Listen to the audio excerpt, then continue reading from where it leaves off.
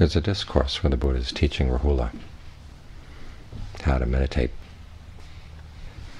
And before he teaches him breath meditation, he says, train your mind to be like the earth.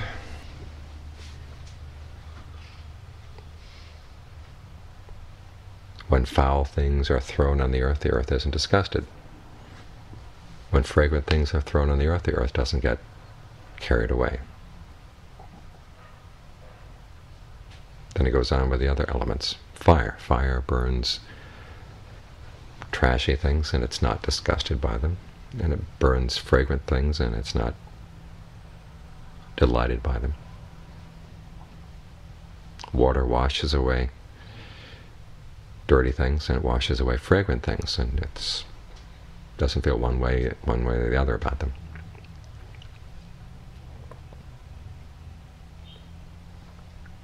Blows foul things around, and it blows fragrant things around, and it doesn't get disgusted by one or excited by the other.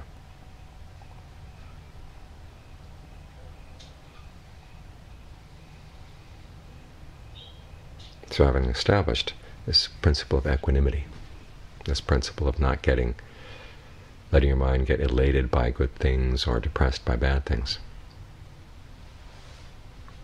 that's when the Buddha starts in with the teaching on breath meditation.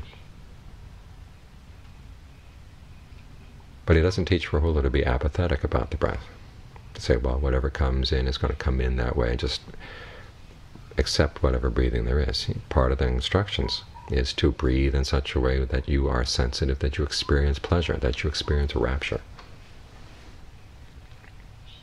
So equanimity doesn't mean apathy.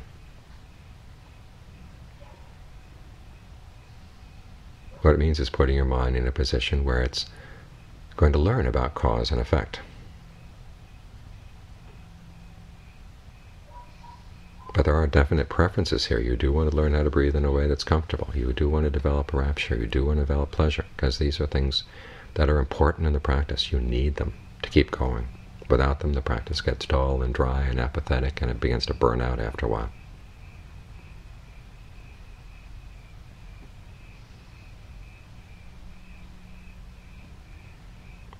Is training Rahula in is that state of mind that's able to see cause and effect. Because the problem often is when things go really well, you get excited and you drop it. Or when things go bad, you get disgusted and you drop it. And you don't learn in either way. The attitude the Buddha wants is that when things go well, you learn why are they going well. Instead of getting carried away with how wonderful it is, you ask yourself, well, wait a minute, what's, what's happening here? What caused this state?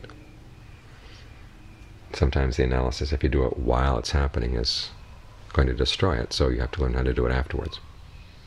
Sometimes it doesn't. So the issue is get your mind in a state where it's willing to learn, where it's going to learn from cause and effect, so you can master the skill.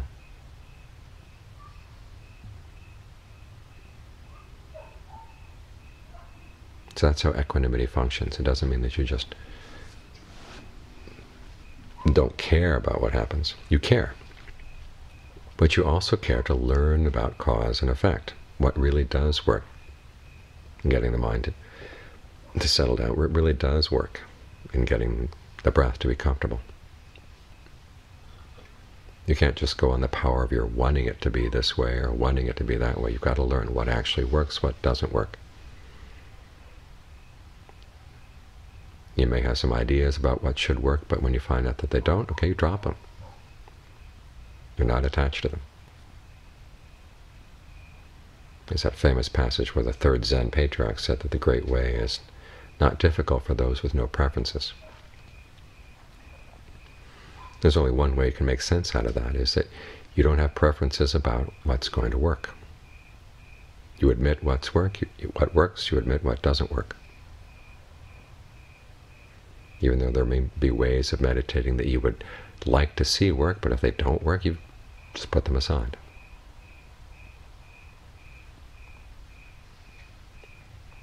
The things that you might have a preconceived dislike for, But if you find that it actually works to practice in a particular way, okay, you don't let your likes and dislikes get in the way.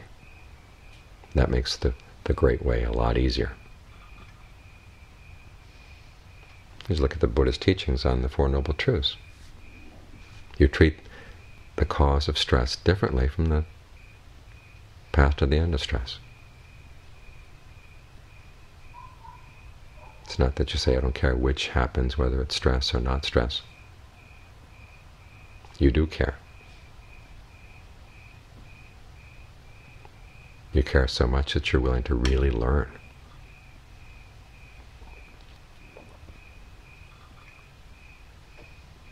But you may find that it requires that you do an analysis of the 32 parts of the body. And a lot of people don't like that, but it's really important. And you realize, okay, if I'm going to get over lust, I've really got to look into the body.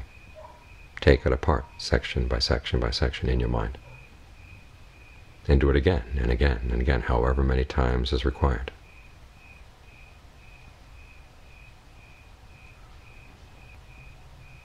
You may decide that you would prefer a path which is really easy, just involves letting go, letting go, and not having to get attached to anything, not having to develop any skill. But when you find that that doesn't work, you put it aside. That whole preconceived notion, if it's, if it's a path that takes a lot of work, don't be afraid of it. The mind has lots of ways of looking for an easy way out. all that work that goes into concentration practice is just an attachment. Say, well, I'm going to be beyond that attachment. I'm going to skip skip over that because I've already seen through it. You can't skip over. You've got to go through the process.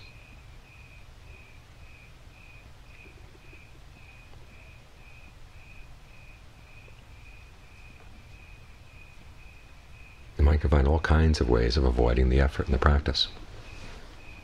Say, might decide, well, I'm just not up to this. I'm not good enough for this. I'm not cut out for this.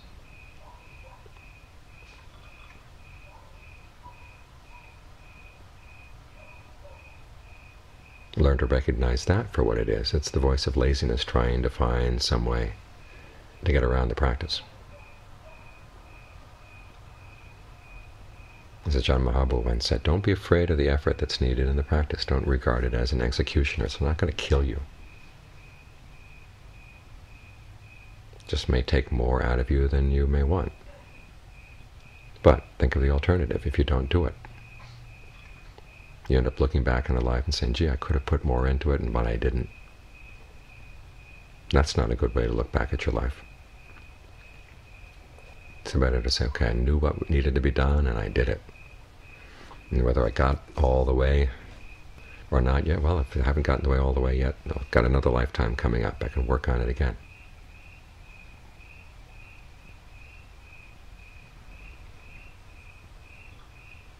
That's what it means to be the sort of person with no preferences. You put in the amount of work that's required. You put, you learn to develop the skills that are required. Whatever the path requires, you're up for it. And if you're not up for it, you find ways of making yourself up for it.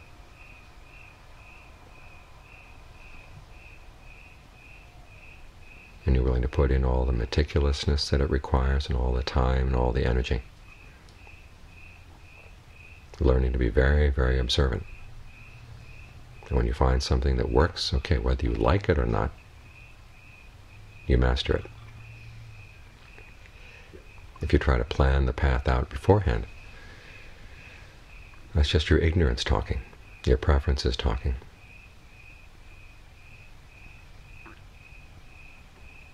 And you've been following your ignorance and following your preferences for how many lifetimes? And sometimes they get you to good places, but a lot of times they don't. So it's time to put them aside. Learn to develop that mind that's like earth. Learn to develop the mind that's like fire.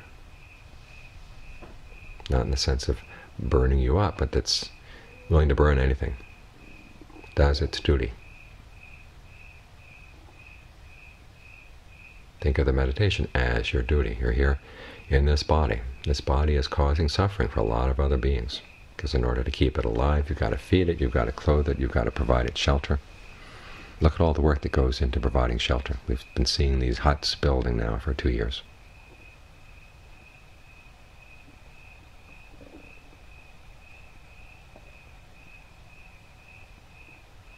Okay, you've got this body that, in order to stay alive, is depending on the suffering of other pe people, other beings.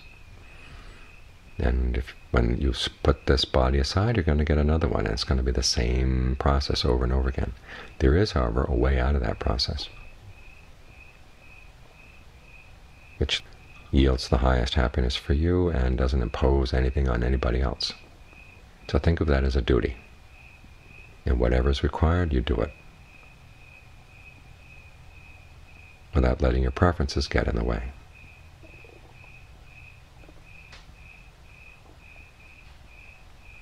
But there are those duties. Look at the Four Noble Truths. Each of them has a duty. They're different. And you definitely do want to work towards the end of suffering. You do prefer that. That's a legitimate preference.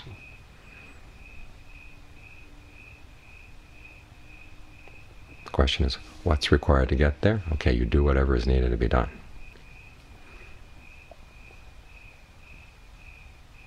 Even when you've completed the task. Look at the Buddha. He spent 45 years establishing the, the teaching, the Dharma and the Vinaya. It took a lot of work. And It wasn't with an apathetic attitude of, well, I don't care whether it works or not. He put a lot of effort into making it a teaching that would last.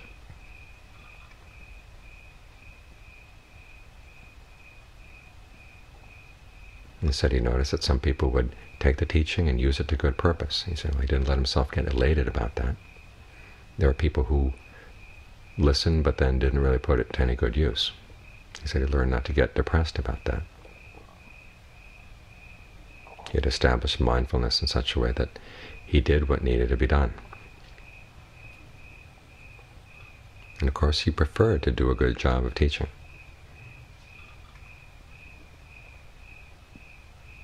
But as for the results that came, how other people took the teaching, that was where he developed the mind that was like earth, fire, wind, water.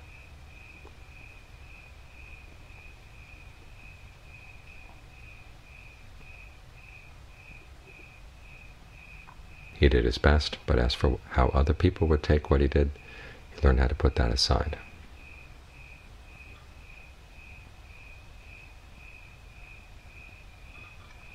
Apathy has no place in the teaching. There are preferences. You do want to put an end to suffering. and that preference is so important that you're willing to put all your other preferences aside.